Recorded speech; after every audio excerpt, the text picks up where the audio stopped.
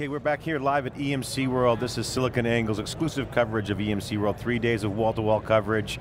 This is theCUBE, our flagship program. We go out to the events, extract the signal from the noise. I'm John Furrier, the founder of SiliconANGLE, and I'm joined with my co-host. Hi everybody, I'm Dave Vellante of wikibon.org. Bill Richter is here. He's the president of EMC's Isilon division. Relatively new president. Bill, welcome to theCUBE. Hey, thanks a lot, Dave. Thanks for having me. oh, it's our pleasure. And uh, you guys have been getting a lot of love from the senior management at, uh, at EMC. Tucci's been talking about you guys, David Goulden, and uh, it seems like Isilon is just this um, you know, supercharged piece of infrastructure that EMC acquired in, and is really becoming a fundamental building block of, of the company's strategy in a lot of areas, big data, you know, even you know, the software-defined storage piece, you must be excited. Oh, we're incredibly excited. We're incredibly excited, Dave. You know, um, EMC had a very clear acquisition strategy around Isilon, and it was incredibly simple. It was, you know, there was a there was a hole in the EMC product portfolio around scale out NAS, and on the Isilon side, you know, I was part of the of the former Isilon leadership team pre-acquisition. Right. And you know, we had an absolute, undisputed best breed product for the scale out, scale out NAS world, but what we lacked is the global brand and global scale that EMC brings. And by putting those two things together, that was the strategy. And two and a half years, I could say, it's absolutely paid off in spades. Yeah, I mean, like you say, you were there um, as you know pre-acquisition. You guys went to startup, you funded the company, you went to IPO, you were doing great, and then all of a sudden there was a run on storage companies, right? And then you guys had you know the double exit, and it was fantastic. So, uh, so what was that like? Oh, it's, look, it's been, a, it's been an incredible ride. Um, you know, when I joined Isilon in 2006, I think we did around $50 million of revenue. And uh, you know, we just announced, or EMC just announced that in Q4 of last year, the combination of Isilon and Atmos together as a, as a kind of a combined product portfolio reached the billion dollar run rate. Right now that's a huge milestone for any technology company. And you know, it, it, has been an un unbelievable experience. What, what I think it demonstrates though is that when customers see a technology that's going to add value to their business, when they see a technology that's going to improve their you know, ability to scale, their agility, that's going to make their life simple, simpler, they gravitate, it, gravitate to it rapidly. So, so I got to ask you about the, the current state, because obviously uh, two years ago I was at uh, an EMC uh, event here, and uh, Sujal was in the, in the briefings and exact, you know, influencer briefings, and I said, you know, you guys are more like big data than Greenplum. This is when they just bought Greenplum. Yep. Because we were seeing in the field that you guys were getting these huge orders on hyperscale. Yep. So that's when really people weren't parsing out big data being Hadoop versus kind of like yep. large data sets. So how has it changed since then? Now, obviously you guys, I saw the positioning map, map yesterday that, uh, that, Gould, um, that Goulden put up two days ago. Clarify the positioning of Isilon vis-a-vis -vis what Pivotal's doing and what the other storage is doing relative to the kind of big data or fast data, however it's being called. Sure. Yeah, and, and this is pretty simple. I mean, what Pivotal's doing and Greenplum is, is much further up the stack from us. So you should think of their initiatives are, are all around how to analyze that data, how to glean information out of it, how to turn it into business value. Isilon's all about big data infrastructure. And you can't get to any of that stuff, stuff higher up on the stack unless you solve the infrastructure problem. So actually the way that the products are organized at this time is, is pretty complementary. Yeah, so give me, a, give me a, a, taste of what you're seeing now on hyperscale, outside of those kind of clients. Actually, tell us, what were the main reasons why they were going to Isilon to begin with? The big consumer hype web scale companies, and then what the hyperscale and the enterprise requirement looks like and what their needs are. Yeah, sure, John. So, you know, if you go back to Isilon's original value proposition, it was very clear. We, as we look forward to the future, when we founded the company, the view was that one day the amount of unstructured data and, and file-based content would grow to such an unprecedented amount they would just break traditional architectures, right? And that was the founding vision of the company. And our view was if you solve that problem by re-architecting a storage solution from the ground up, from a blank sheet of paper, with that specific design need in mind, you'd have a big advantage in the, marketplace. And that's what happened out there. You know, some of these web scale companies, some of the specific verticals that had this problem first about 10 years ago, you know, it, it happened just as we saw. You know, the, their traditional architectures were breaking, they weren't able to scale their businesses, and it was just slowing them down. So as they saw what Isilon's architecture could bring to that problem, they quickly gravitated to the solution, and, and you know, the rest is history, we had a lot of success. But something more recently has changed, okay? big data has spanned and fanned out across not just a few discrete vertical markets, but virtually all enterprises. Big data has now gone to the heart of enterprise IT. And at the same time, enterprise IT itself is becoming a big data problem. So what do I mean by that? General archives, home directories, file shares, these things have grown to multiple tens of petabytes for some of our customers. So traditional IT has become a big data problem and big data has become an enterprise IT problem and really those worlds have collided together and that's what our value proposition and is all about today. And fairly fast too, on an accelerated basis. I mean, only like, you're talking about a handful of years. Yes, you have to, but you have to pick your bets early, right? So we started developing our OneFS 7.0 operating system, it's codenamed Mavericks, and, and I know we're going to talk about that later um, with Nick Kirsch, our CTO.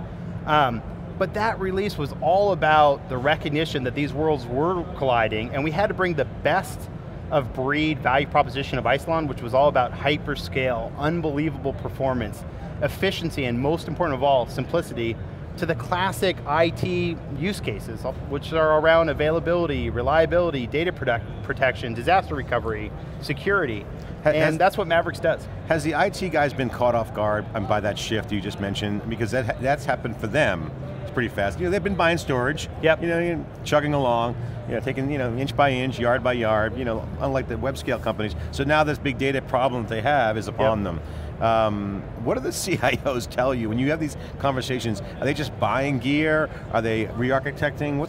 Give us some insight and color around the environments. Yeah, you know, um, the CIO is in a real pinch today. So not only are all their traditional applications and workflows all of a sudden scaling orders of magnitude more than they were before. They're being asked to meet all these brand new demands around data analytics, cloud-based workflows, um, mobility, and here's the real challenge.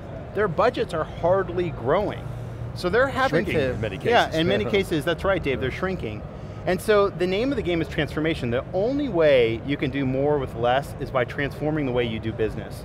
Transforming the tools that you use, and Isilon's all about that, and then most importantly, picking a vendor that understands this transformation is going on and is in the business of helping customers through it. And I think EMC has absolutely demonstrated that we understand this and we're here to help our customers.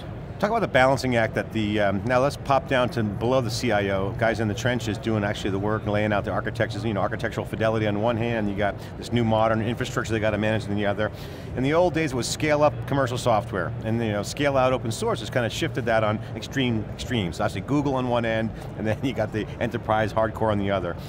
Talk about the balancing act between scale out, scale out versus scale up, and the role of software plays in that.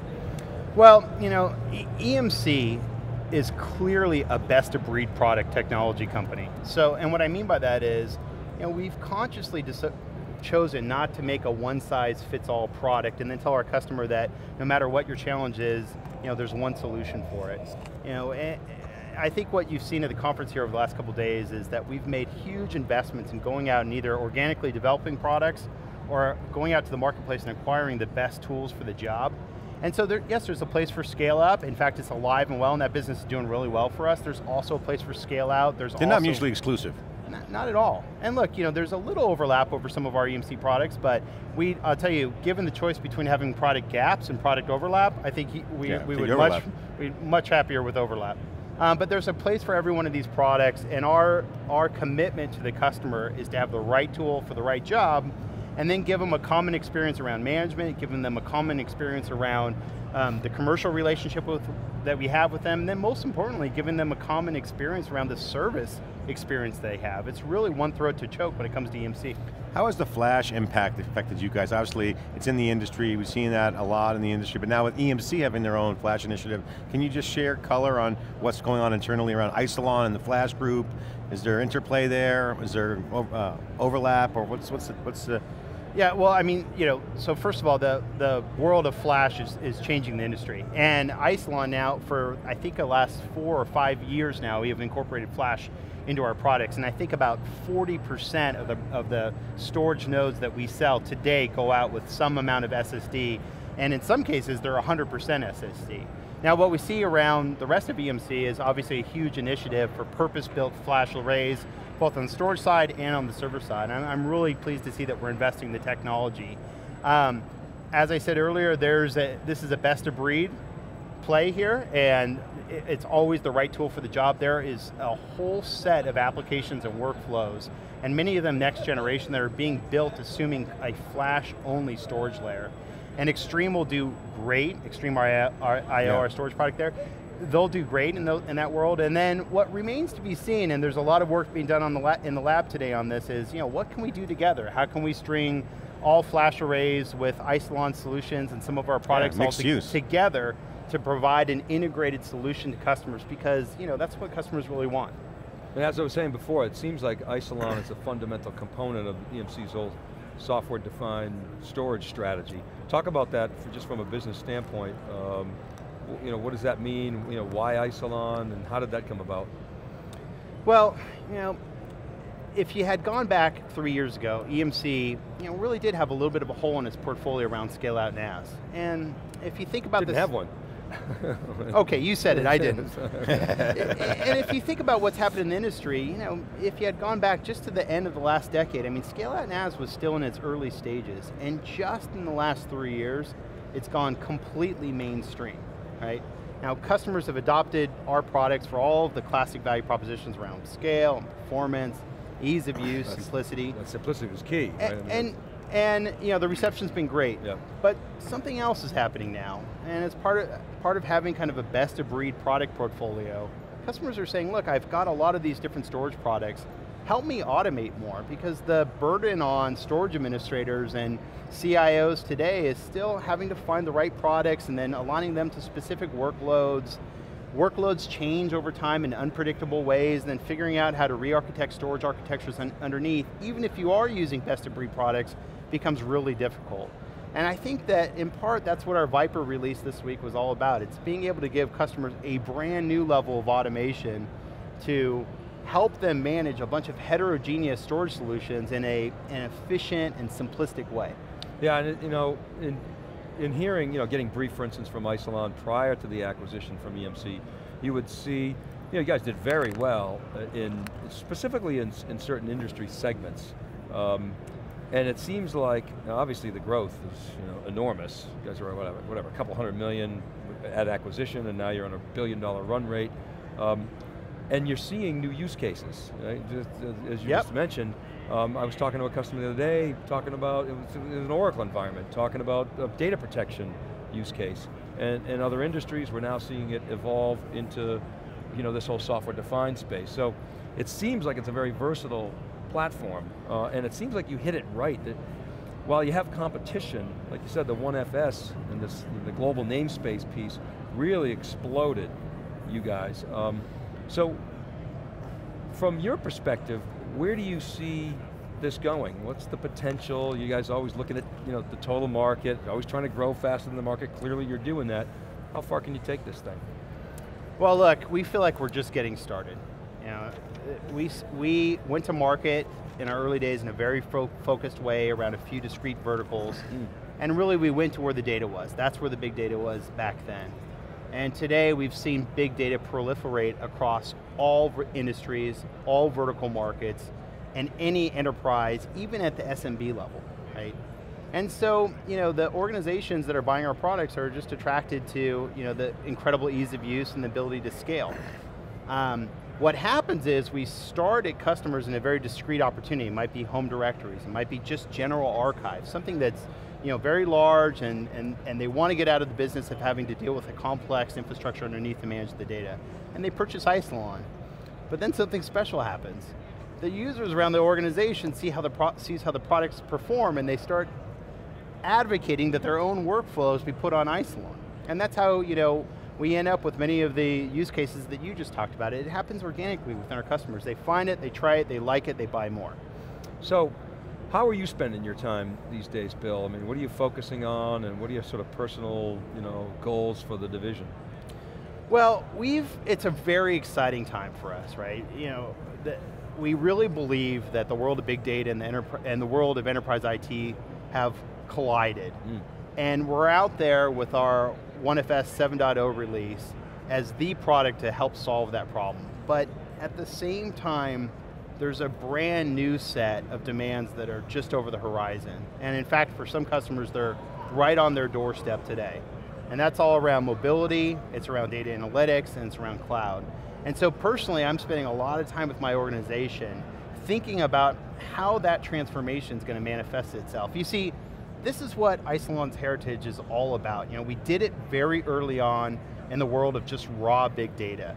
We just did it again in, the, in this world of big data meets enterprise IT, and we know that we have the capability of doing this again in this brand new world that's that we're just on the dawn of. And so I'm spending a lot of time with my organization and it's a lot of fun doing this, talking about how we can help our customers make this very next transformation.